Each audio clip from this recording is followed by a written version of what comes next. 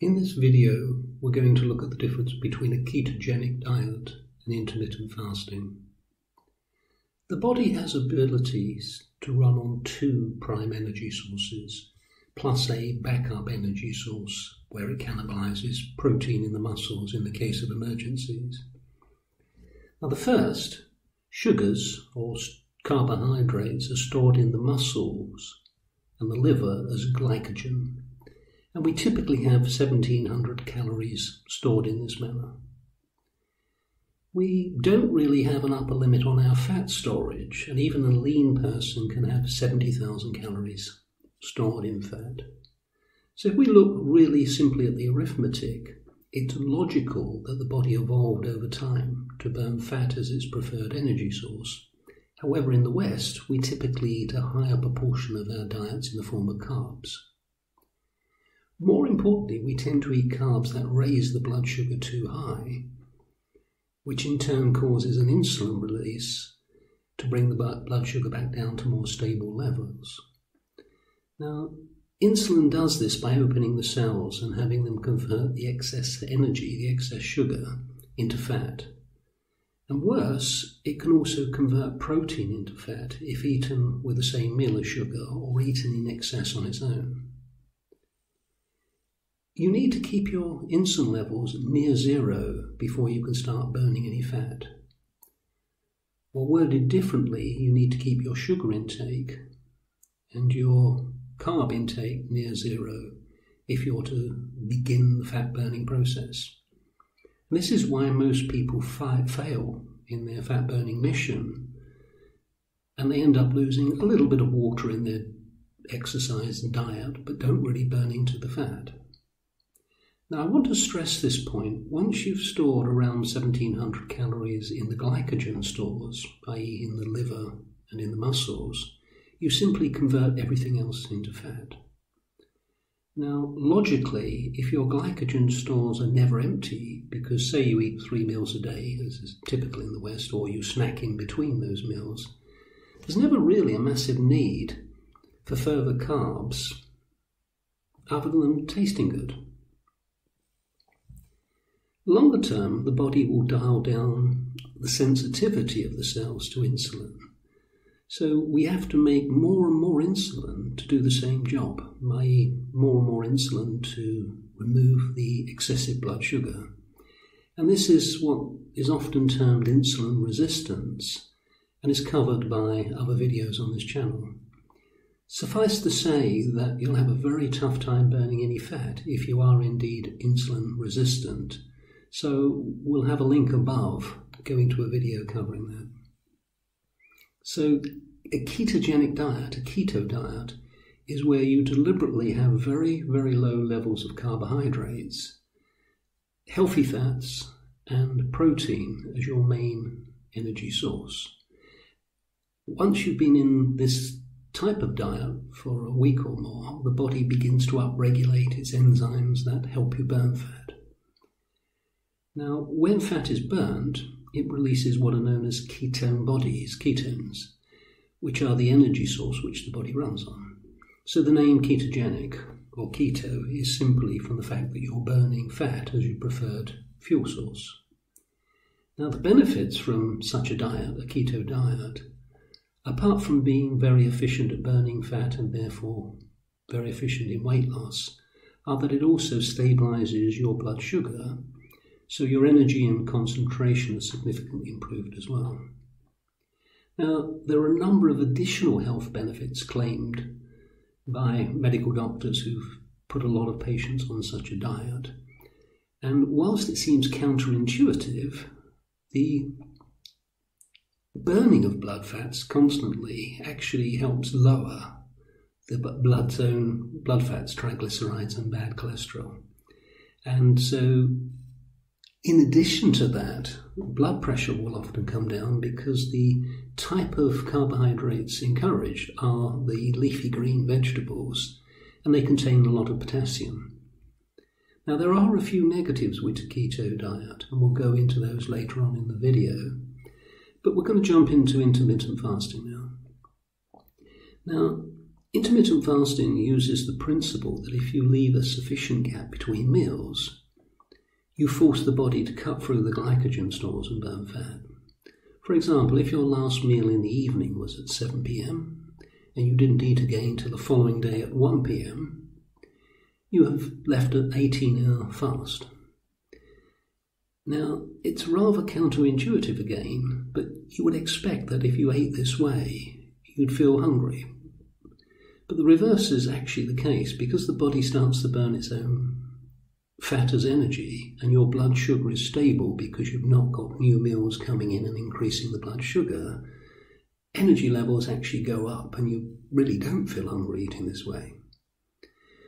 When we eat snacks and multiple meals, our insulin levels will typically rise with every meal, or with every snack, and that turns off fat burning.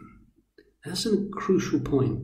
If you raise your insulin, you can't burn fat logically the body is raising insulin because it wants to store excessive blood sugar as fat.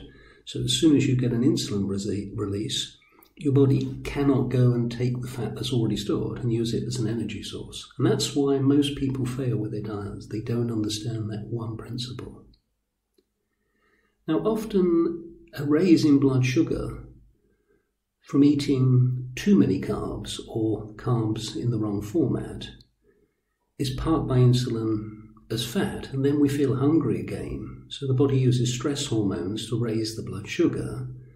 And one of the stress hormones, cortisol, has us crave sugary foods and carbs, which it then parks around the tummy as stored fat.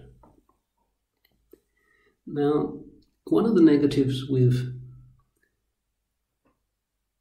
eating this way is that too many people in that eating window eat the wrong type of food.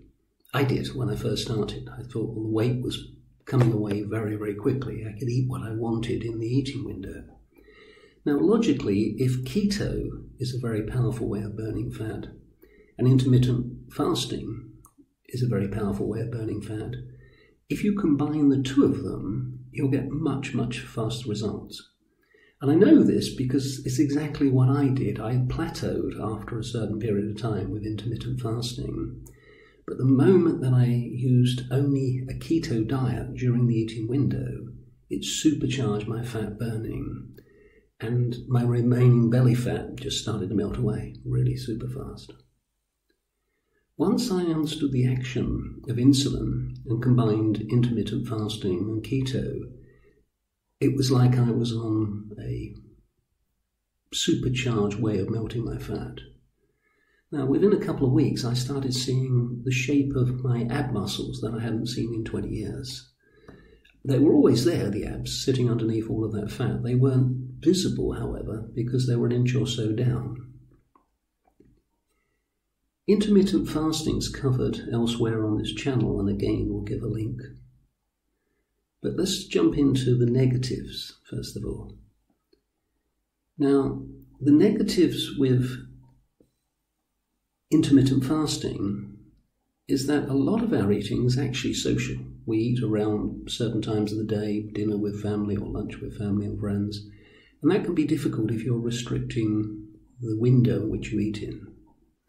For example, if you have a four hour window, it's difficult also to get enough nutrients in that four hour eating window because you can only eat so much before you're full. Therefore, it's important that you think quality of nutrition rather than thinking just what tastes good. Where possible, therefore, you should be looking at free range and organic food. And uh, yes, uh, we know that costs more, but actually you end up eating less eating this way, so it evens out. The other negative is that tea and coffee can break the fast if you add sugar and milk to them. Now, from an early age, most of us are programmed to eat three or four times a day. We don't think about it, just it's how we eat in the West. Um, we often snack in between. So it can take quite a while to undo that programming.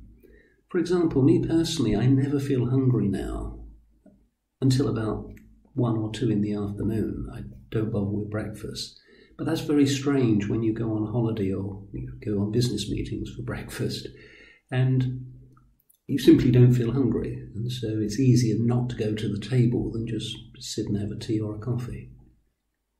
Now, with keto, the negatives are that the diet comprises protein, fat, and restricted carbs. And a lot of the protein sources for the non vegetarian, non vegan community are that meat, fish, cheese, and eggs can be very binding and, and lead to constipation. And what happens to most people who start off on the keto diet is they miss a very important point, and that's the carbs that you should be eating are the low density carbs, things like leafy green vegetables and salads. And the roughage in them corrects the, the problem of constipation. Also, they contain a lot of potassium, and potassium helps the bowel movement. Now, you can actually eat a very large amount of that type of carbohydrate, green leafy veg and salad, when you're aiming for, say, typically 40 or 50 grams of carbs, which most people suggest when you start the keto diet. So it's actually easy to get the roughage in, but most people opt for more dense carbs. And that soon brings the 40 or 50 grams up with food that doesn't have as much roughage. Now, the other issue with burning fat is that ketone, ketones are released in the breath. So, depending on the speed at which you're burning fat, you can often get what's, what's basically a, a bad breath odor. And the more you burn fat, the lower your carb intake, the worse this can be, this offensive smell. So it's actually easier to start off in a slow way and keep yourself just borderline keto so that you are burning fat, but you're not getting this, this bad breath. And logically, bad breath can be dealt with in the normal way, but it's better to adjust via the diet. Now, the other problem that many people find when they're doing a keto diet is that they'll often get cramps. I, I had leg cramps, for example. And the main reason is that the ratio, ratio of sodium, salt, and potassium isn't correct if you haven't structured the diet correctly. The diet will typically lean towards a higher sodium ratio, and a very easy way of pulling that back is, as I've mentioned before, the aim of having a lot of leafy green vegetables which contain a lot of potassium. Now, you can eat a very large amount of potassium. A typical RDA is 4,700 milligrams a day. That's huge when you express that in terms of, say, salad. That's multiple bowls of salad a day. Or if you lean towards spinach, then again, it's a huge sitting of spinach. And Another shortcut is that you can juice very low sugar vegetables. I personally juice uh, with um, celery. That's a good example, or cucumber and celery. And the mineral content of that is, is very, very beneficial, but it's a very quick way of getting a heavyweight shot of potassium to top up the, the minerals without overloading the blade. Now, another symptom that you can run into is keto flu, as some people term it. And where the body's run on burning carbs for many, many years, it can take a week or so to upregulate the fat burning enzymes simply because the body hasn't been using them. They've been dormant for a while. During that changeover period, you can sometimes get the reverse of what you're looking for. So you may feel your energy levels sort of hitting the wall as such and, and taking taking you down with something that feels a little bit like you've got flu, a little bit of sluggishness and a little bit of flu-like symptoms. And the easiest way of avoiding this is to transition slowly. Don't just jump in the deep end and go keto. Be aware of what you're trying to achieve and adjust the vegetables towards the leafy greens and increase that on a regular basis and slowly dial up the amount of fat in the diet and dial up the protein in the diet till you, you hit your desired numbers. Now, the other problem is that many people hear ketosis is a very dangerous state to put the body in. And that's because they're confusing it with a diabetic state. So when someone is diabetic and cannot produce insulin, they can enter a state called diabetic ketoacidosis. Now, that's very different from what we're doing, which is just encouraging the body to burn fat as its main fuel source. Now, I appreciate a lot of people watching this will be vegan or vegetarian. Whilst I'm personally not a vegetarian or vegan, I have a lot of respect for people who choose that dietary approach. Will therefore look at the best ways for vegans and vegetarians to enter keto in another of these videos. So until then, thank you for visiting. Please press the update bell to ensure that you're notified as new videos come on stream. And if you've learned something, please give a thumbs up.